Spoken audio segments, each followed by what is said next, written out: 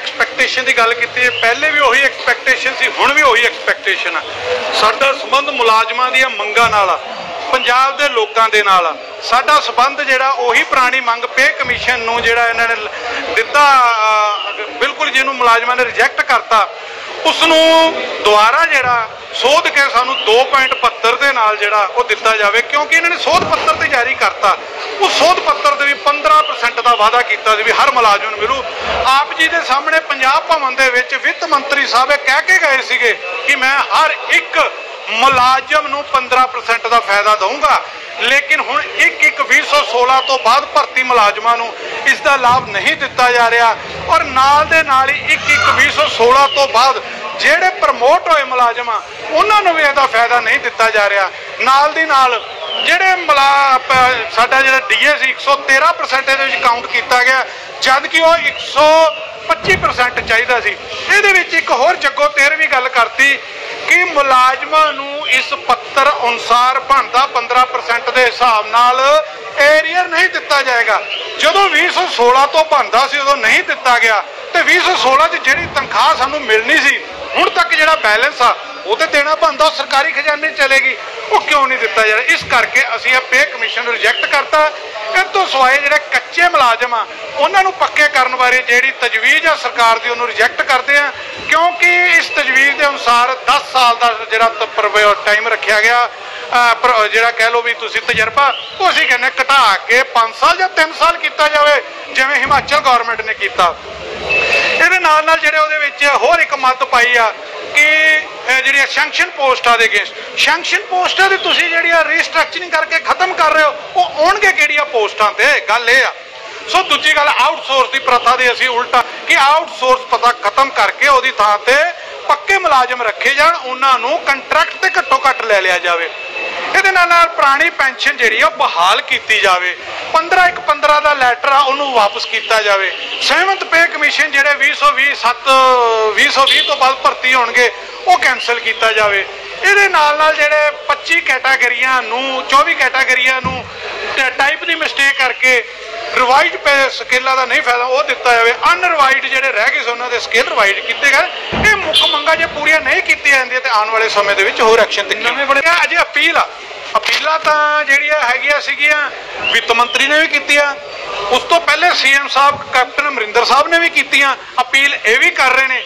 ਪਰ ਅਪੀਲਾਂ ਨਾਲ ਗੱਲ ਨਹੀਂ ਨਾ ਚੱਲਣੀ, ਸਮਾਂ ਤੇ ਰਹਿ ਗਿਆ ਡੇਢ ਦੋ ਮਹੀਨੇ, ਤਾਂ 2.5 ਮਹੀਨੇ ਦਾ ਜੇਕਰ ਕੋਡ ਆਫ ਕੰਡਕਟ ਨੂੰ ਦੇਖਿਆ ਜਾਵੇ ਡਿਊ ਡੇਟ ਤੇ ਜੇ ਆਪਸ 'ਚ ਲੜ ਮਰ ਪਏ, ਤਾਂ ਫਿਰ ਪ੍ਰਮਾਤਮਾ ਕਰੇ ਗਵਰਨਮੈਂਟ ਬਣੇ, ਫਿਰ ਸਾਨੂੰ ਕੀ ਮਿਲੇਗਾ? ਸੋ ਅਸੀਂ ਅਪੀਲ ਦੇ ਸਿਰ ਤੇ ਕੱਲੇ ਐਕਸ਼ਨ ਨਹੀਂ ਛੱਡ ਸਕਦੇ। ਉਸ ਸਮਾਂ ਹੈ, ਜਲਦੀ ਤੋਂ ਜਲਦੀ ਆਪਣੀ ਸਰਕਾਰ ਦਾ ਗਠਨ ਕਰਕੇ ਮੁਲਾਜ਼ਮਾਂ ਵੱਲ ਧਿਆਨ ਦੇਣ। ਸਾਡੇ ਮਾਨਯੋਗ ਮੁੱਖ ਮੰਤਰੀ ਜੀ, ਸਾਡੇ ਨਾਲ ਮੀਟਿੰਗਾਂ ਕਰਕੇ ਤੁਰੰਤ ਫੈਸਲੇ ਲੈਣ ਤਾਂ ਕਿ ਮੁਲਾਜ਼ਮ ਵਰਗ ਖੁਸ਼ ਹੋ ਸਕੇ। ਕਿਉਂਕਿ ਕਿਸਾਨਾਂ ਤੋਂ ਬਾਅਦ ਜੇਕਰ ਸਭ ਤੋਂ ਵੱਡਾ ਵਰਗ ਹੈਗਾ ਤੇ ਉਹ ਮੁਲਾਜ਼ਮ ਵਰਗ ਆ ਜਿਨ੍ਹਾਂ ਦੀ ਵੋਟ 40 ਤੋਂ 50 ਲੱਖ ਆ ਤੇ ਇਹ ਹਾਰ ਜਿੱਤ ਜਿਹੜੀ ਵੀ ਪੋਲੀਟੀਕਲ ਪਾਰਟੀ ਦੀ ਕਾਫੀ ਹੱਦ ਤੱਕ ਜਿਹੜੀ ਆ ਉਹ ਮੁਲਾਜ਼ਮਾਂ ਦੇ ਹੱਥ ਵਿੱਚ ਹੁੰਦੀ ਹੈ? ਦੇਖੋ ਜੀ ਸਾਡਾ ਇੱਕ ਸਾਂਝਾ ਫਰੰਟ ਬਣਿਆ ਉਹਨਾਂ ਨੇ ਕੱਲ ਮੀਟਿੰਗ ਕਰਕੇ। ਜਦ ਕਿ ਫੈਸਲਾ ਪਹਿਲੇ ਲੈ ਲਿਆ ਸੀ ਜੇ ਮੰਗਾ ਨਹੀਂ ਹੋਣਗੇ ਪੱਕਾ ਮੋਰਚਾ ਲਾਵਾਂਗੇ ਕਿਸਾਨਾਂ ਦੀ ਤਰਜ਼ ਤੇ। ਤੇ ਯੂਨੀਅਨ ਜਿਹੜੇ ਕਲੈਰੀਕਲ ਕਾਮਿਆਂ ਦੀ ਮੁੱਖ ਜਥੇਬੰਦੀ ਆ, ਉਹਨੇ ਵੀ ਆਪਣੀ ਮੀਟਿੰਗ ਸੱਦ ਲਈ ਆ। ਤੇ ਤੁਸੀਂ ਦੇਖ ਰਹੇ ਹੋ ਅੱਜ ਇੱਥੇ ਵੱਡੀ ਗਿਣਤੀ ਦੇ ਵਿੱਚ ਮੁਲਾਜ਼ਮਾਂ ਨੇ ਇਕੱਠੇ ਹੋ ਕੇ ਰੈਲੀ ਕੀਤੀ ਆ। ਸੋ ਇੱਕ ਮਾਹੌਲ ਜਿਹੜਾ ਮੁਲਾਜ਼ਮਾਂ ਦੇ ਵਿੱਚ ਡਰ ਦੇ ਸਹਿਮ ਦੇ ਕਾਰਨ ਉਹ ਤਿਆਰ ਹੋ ਚੁੱਕਾ। ਵੱਡੇ ਐਕਸ਼ਨ ਜਿਹੜੇ ਆਉਣ ਵਾਲੇ ਸਮੇਂ ਦੇ ਵਿੱਚ ਜਿਹੜੇ ਆਉਣਗੇ। ਸੋ ਅਪੀਲ ਅਸੀਂ ਬਾਰ-ਬਾਰ ਕਰਦੇ ਹਾਂ ਚੰਨੀ ਸਾਹਿਬ ਜੀ ਨੂੰ ਕਿ ਸਾਡੇ ਮਾਨਯੋਗ ਮੁੱਖ ਮੰਤਰੀ ਆ, ਕਿ ਅਸੀਂ ਮਾਫੀ ਚਾਹੁੰਦੇ ਹਾਂ ਕਿ ਸਾਡੇ ਕੋਲ ਤੁਹਾਨੂੰ ਸਮਾਂ ਨਹੀਂ ਦੇਣ ਲਈ ਤੁਸੀਂ ਜਲਦੀ ਤੋਂ ਜਲਦੀ ਤੁਸੀਂ ਸਮਾਂ ਨਿਯਮਤ ਕਰੋ ਤੇ ਸਾਡੀਆਂ ਮੰਗਾਂ ਪੂਰੀਆਂ ਕਰੋ ਤਾਂ ਕਿ ਅਸੀਂ ਜਿਹੜਾ ਆਰਾਮ ਨਾਲ ਆਪਣਾ ਕੰਮ ਕਰ ਫਿਰ ਠੀਕ ਆ, ਫਿਰ ਤੇ ਸਾਨੂੰ ਇਹੀ ਤੇ ਡਰ ਆ, ਫਿਰ ਤੇ ਲੜਾਈ ਲੜਨੀ ਪਏਗੀ। ਫਿਰ ਕੀ ਕਰੀਏ? ਜਾਂ ਅਸੀਂ ਜਿੱਤਾਂਗੇ ਤੇ ਜਾਂ ਉਹ ਹਾਰਨਗੇ? ਇੱਕ ਗੱਲ ਤੇ ਹੋਣੀ ਹੋਣੀ ਆ। ਜਾਂ ਤੇ ਫਿਰ ਸਾਨੂੰ ਜਿਤਾ ਦੇਣ। ਸਾਡੀਆਂ ਮੰਗਾਂ ਪੂਰੀਆਂ ਕਰਕੇ ਖਜ਼ਾਨਾ ਉਹਨਾਂ ਨੇ ਭਰਨਾ। 200 ਰੁਪਿਆ ਤੇ ਜਜੀਆ ਟੈਕਸ ਅਸੀਂ ਦੇ ਰਹੇ ਹਾਂ। ਹਰ ਜਗ੍ਹਾ ਤੇ ਟੈਕਸ ਅਸੀਂ ਦੇ ਰਹੇ ਹਾਂ।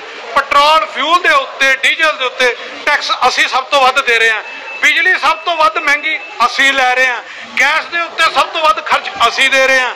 ਹਰ ਖਾਣ ਪੀਣ ਵਾਲੀ ਵਸਤੂ ਦੇ ਉੱਤੇ ਟੈਕਸ ਅਸੀਂ ਦੇ ਰਹੇ ਹਾਂ। ਤੇ ਸਭ ਤੋਂ ਵੱਧ ਜੇ ਸਭ ਕੁਝ ਦੇਣ ਤੋਂ ਬਾਅਦ ਖਜ਼ਾਨਾ ਖਾਲੀ ਆ, ਤੇ ਹੁਣ ਅਸੀਂ ਦੱਸੋ ਕਿਵੇਂ ਭਰੀਏ ਫਿਰ? ਫਿਰ ਤੁਸੀਂ ਫੇਰ ਉਹ ਕਹਿ ਰਹੇ ਆ ਕਿ ਲੱਗ ਰਿਹਾ ਵੀ ਵਿੱਤ ਮੰਤਰੀ ਫੇਰ ਉਹੀ ਆਣਗੇ, ਜਿਨ੍ਹਾਂ ਨੇ 4.5 ਸਾਲ ਖਜ਼ਾਨਾ ਨਹੀਂ ਭਰਿਆ।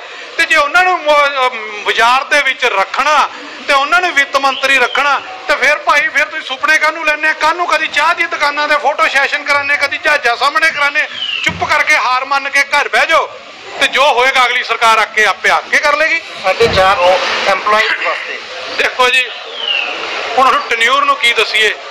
ਸਾਡੇ ਤੇ ਗਲੇ ਬਹਿ ਕੇ ਬੋਲ ਬੋਲ ਕੇ ਉਦੋਂ ਵੀ ਬੋਲਦੇ ਰਹੇ ਹੁਣ ਵੀ ਬੋਲਦੇ ਰਹੇ ਆ। ਸੋ ਟਨਿਊਰ ਦਾ ਅਸੀਂ ਕੀ ਕਰਨਾ ਜਦੋਂ ਸਾਡੀ ਕੋਈ ਮੰਗ ਹੀ ਪੂਰੀ ਨਹੀਂ ਹੋਈ ਸਾਢੇ ਚਾਰ ਗਲਾ ਫੜਨ ਤੋਂ ਬਾਅਦ ਉਹਨਾਂ ਨੇ ਸੁਣਿਆ ਹੀ ਕੁਛ ਨਹੀਂ।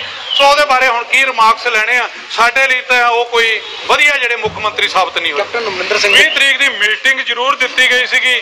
ਜਦੋਂ ਪੱਤਰ ਜਾਰੀ ਕਰਨ ਲਈ ਕਿਹਾ ਗਿਆ ਤਾਂ ਉੱਥੇ ਵੀ ਘਬਰਾਹਟ ਸੀਗੀ ਸ਼ਾਇਦ ਉਹਨਾਂ ਨੂੰ ਅੰਦਾਜ਼ਾ ਸੀਗਾ ਤਾਂ ਉਸ ਤੋਂ ਪਹਿਲੇ ਉਹਨਾਂ ਨੇ ਕਿਹਾ ਸੀ ਵੀ ਅਸੀਂ ਕੱਲ ਨੂੰ ਚਿੱਠੀ ਪੱਤਰ ਜਾਰੀ ਕਰ ਦਿੰਦੇ ਉਦੋਂ ਹੀ ਰੌਲਾ ਪੈ ਗਿਆ ਵੀ ਸਰਕਾਰ ਟੁੱਟ ਰਹੀ ਆ, ਅਗਲੇ ਦਿਨ ਟੁੱਟ ਗਈ। ਸੋ ਮੀਟਿੰਗ ਤੇ ਹੋਈ ਨਹੀਂ ਹੈ। ਸੋ ਜਿਹੜੇ ਨਵੇਂ ਮੁੱਖ ਮੰਤਰੀ ਉਹੀ ਹੁਣ ਜੇ ਚਾਹਣ ਤੇ ਸਾਡੇ ਮਸਲੇ ਹੱਲ ਕਰ ਸਕਦੇ ਨੇ। ਨਹੀਂ ਤਾਂ ਫਿਰ ਆਰਾਮ ਨਾਮ ਸੱਤ